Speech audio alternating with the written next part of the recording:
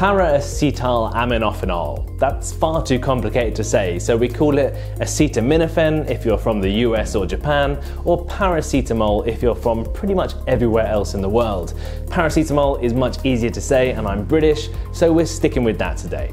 Now, it's a really common, awesome, amazing painkiller, and you might also know it by its common brand names like Tylenol, Calpol, or Panadol.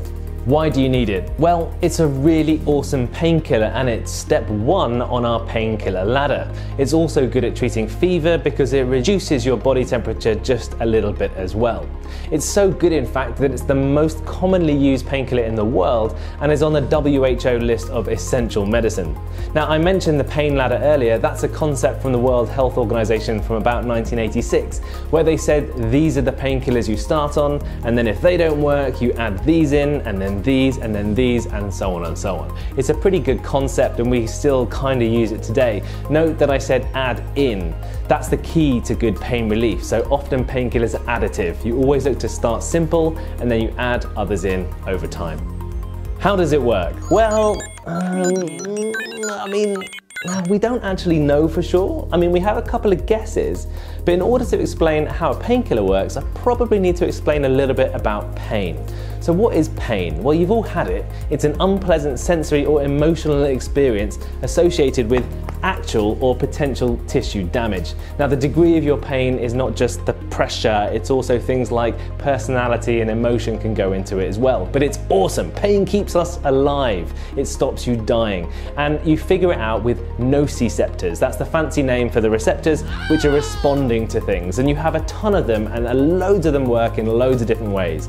Some respond to pressure and hard pressure, soft pressure, some to heat, to cold, to spice, and so on. When a receptor is activated, it shoots off a signal to your spinal cord, and when that happens, well, number one, there's a reflex which tends to move your hand or something else away from the pain, and two, it shoots off more signals to your brain, and your brain perceives the pain and turns the signal into an experience.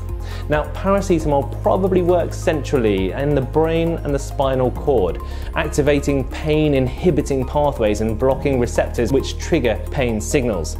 But like I said, we're not entirely sure how it works.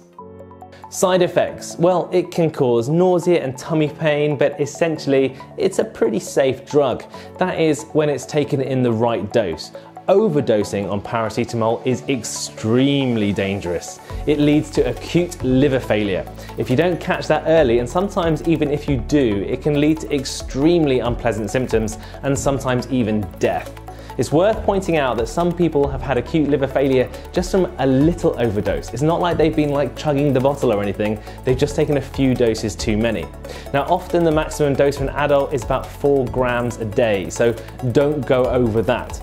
Oh, and another word of warning, what we see pretty commonly in hospital is that some drugs contain paracetamol and you might not know it, and that leads to accidental overdoses. A really common drug is cocodamol. That's a stronger painkiller because it contains an opioid called codeine, but the co in cocodamol is paracetamol. And some people don't know that and they take paracetamol as well, effectively doubling their dose. So don't make that mistake.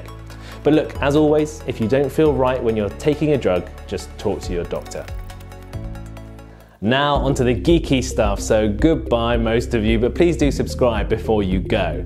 Okay, for those of you who are sticking around, here's the history and the pharmacology, two sections which I'm putting in because most people, even a lot of doctors, don't know where these drugs came from or what they actually do to you.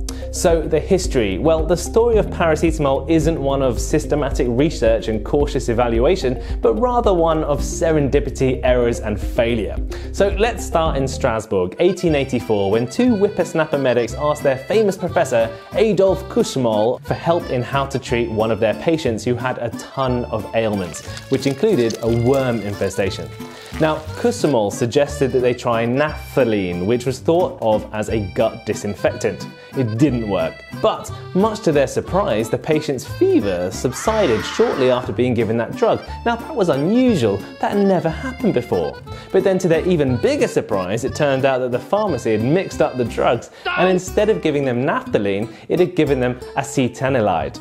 Now, research began on acetanilide and it bloody worked. Yeah, you had this weird side effect effect where the skin turned a bit blue, but don't worry about that, it was mass produced. Of course, Later on, it was found that the bluish skin was actually the drug destroying your hemoglobin, so later on, a search for a safer chemical began. And in 1913, a few other scientists synthesized a compound called phenacetin.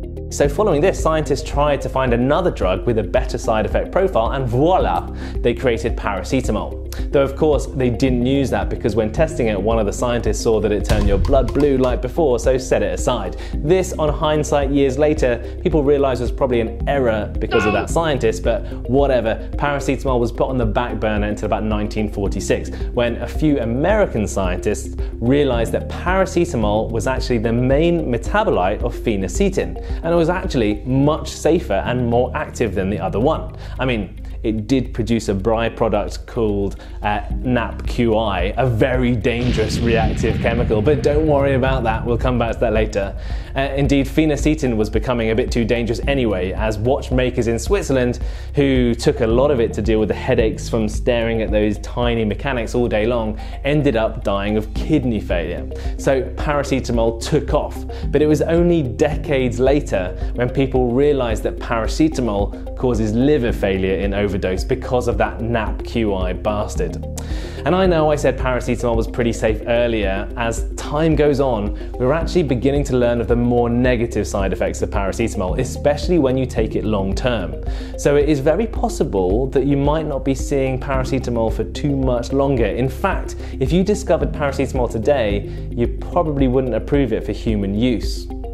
How does it work in a bit more detail? Well, like I said, we don't know for sure. Less than 20 years ago, we realized that paracetamol inhibits prostaglandin produced by COX, not only in the central nervous system, but also in the peripheral tissues. Now, what does that mean?